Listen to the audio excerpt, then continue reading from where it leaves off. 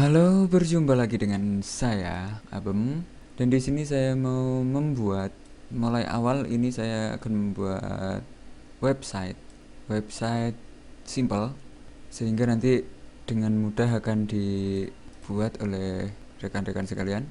Yang perlu kita persiapkan di sini adalah satu folder di mana folder itu tempat dari semua file-file kita.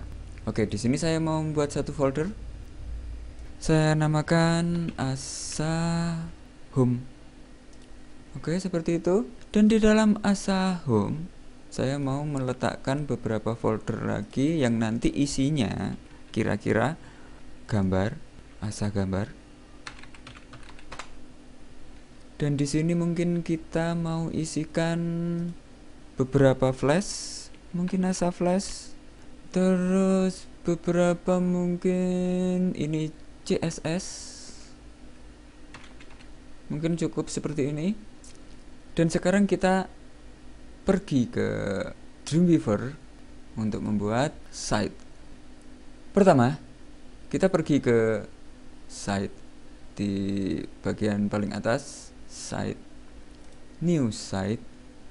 Dan di sini kita ketikkan nama kita. Mungkin website kita asa home Ingat di sini jangan sampai memakai spasi karena kalau dibaca di online itu akan menimbulkan sebuah kode-kode tersendiri saat spasi itu. Jadi kalau bisa jangan pakai spasi, bisa pakai garis bawah atau mungkin garis penghubung. Setelah kita menamakan, kita lanjut ke next, kita tekan no I don't want, kita tekan next lagi. Dan di sini kita mencari folder yang sudah kita buat tadi di sini saya memakai di data garapan dan di sini ada asa home. Saya open lalu select. Pilih di edit local copies of my machine. Lalu tekan next dan di sini local network. Jangan dipilih yang lain tapi pilih saja local network.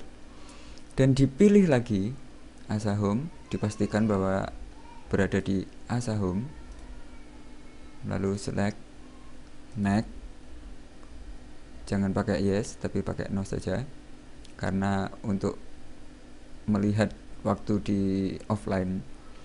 Dan tekan next dan di sini ada informasi bahwa website kita sudah dibuat oleh Dreamweaver. Di sini namanya asa home foldernya ini nah, seperti ini. Kalau sudah tekan dan otomatis di sini di bagian browser di sini sudah ada folder-folder yang sudah saya buat tadi. Sekarang kita mencoba membuat file HTML. Kita klikkan file lalu new dan di window baru kita pilih HTML dan di sini langsung saja kita create HTML. Pada dasarnya HTML adalah berupa kode-kode semacam ini. Dan di Dreamweaver, jika kita mau membuatnya dalam bentuk desain yaitu visual, visual uh, detailnya itu bisa Anda aktifkan desain dan di sini nanti kalau gambar akan terlihat gambar, kalau flash akan terlihat flash. Jika kita mau mengedit dalam bentuk kedua-duanya, kita aktifkan split paling bawah berada di desain sedangkan yang di atas adalah code HTML code Sekian untuk pembuatan website dan berjumpa lagi nanti kita di tutorial berikutnya tentang bagaimana kita membuat tabel, bagaimana kita membuat bahan-bahan yang kita perlukan untuk website kita. Sampai jumpa di tutorial mendatang. Salam.